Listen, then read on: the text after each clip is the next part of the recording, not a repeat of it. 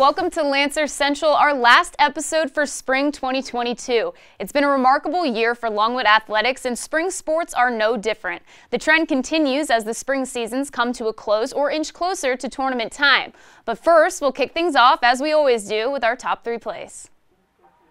And at three, we have softball against North Carolina A&T. That's Alexis Whalen with the throwdown and Jacobson with the tag, ending the inning right there. Caught the runner cheating just a little bit too far.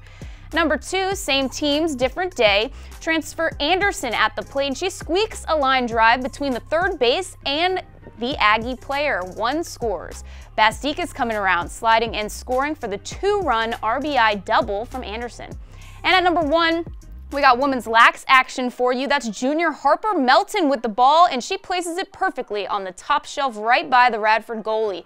That was Melton's only goal in the 13-8 victory over Radford. The men's golf season wrapped up yesterday and they look ahead to postseason play. That will begin April 20th and end April 23rd with one as the Big South champion. And Lancer baseball, led by first-year head coach Chad Oxendine, has recorded one of its best conference starts in program history. Over the weekend, the team took the series over High Point, going two and one, putting them second in the Big South. The team was projected to come in last in the preseason poll and now sit at 7-2 in the conference, right behind Campbell.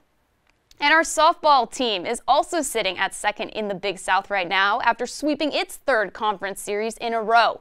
The Lancers are on an 11-game win streak in the Big South, recording its last loss in the conference almost a month ago.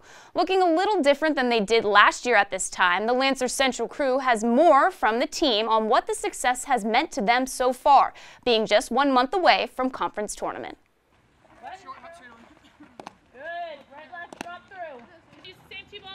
Obviously with the lulls, like we've had our ups and downs and we've had to try and work through that. So I think mostly just getting our focus in the right point and uh, and we've got a pretty good winning streak going right now. So I think right now we're just locked in and that's helping us. Last year, obviously, we struggled with hitting a little bit, um, and I think we're doing a really good job of making those adjustments like in game this year. Because I mean, even this year, we started off kind of we had like a lull in the middle, but now I think we're getting our hits going and we're doing really well.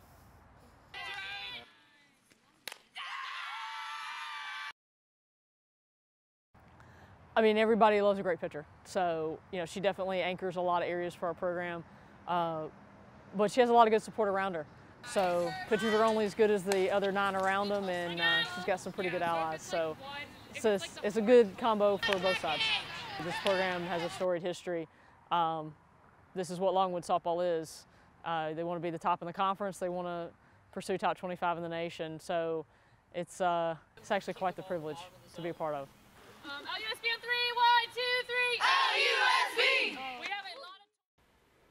And it's all coming together at the right time. Longwood prepares for the current 2-3 matchup in the Big South, taking on Presbyterian in a three-game series that will take place this Friday and Saturday, April 15th and 16th, right here in Farmville. And that'll do it for us here today. Don't forget to follow Longwood Athletics on social media at Longwood Lancers. And as always, I'm Emily McNamara. Thanks for joining us all semester long here on Lancer Central. Have a great rest of your week and go Lancers.